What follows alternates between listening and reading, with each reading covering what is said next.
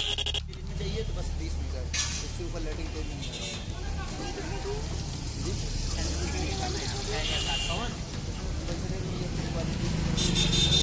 ये क्या नाम है आपका?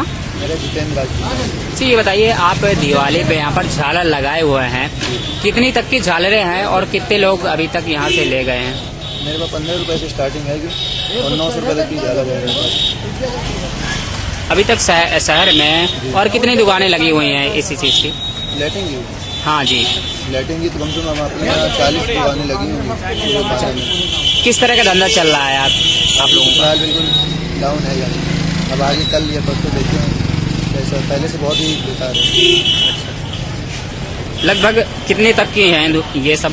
मेरे पास झालर पंद्रह रुपए का भी है और बीस रुपए की भी पचास रुपए। कौन कौन सी झालर हैं? कुछ नाम बताएँगे। झालर रुपये इंडियन भी आएँगे और कुछ देसी भी हैं रॉकेट भी आएँगे। चाइना से तो खैर माल आ ही नहीं पा रहा सब इंडियन ही है। कौन सी कौन सी चीज़ को लोग ज़्यादा पसंद कर रहे हैं आपकी ज़्यादा दुकान पे? सबसे ज़्यादा इंडियन मतलब देसी टोटल हाथ की बनी पसंद कर रेडीमेड कोई झालर नहीं। इंडियन में क्या क्या है?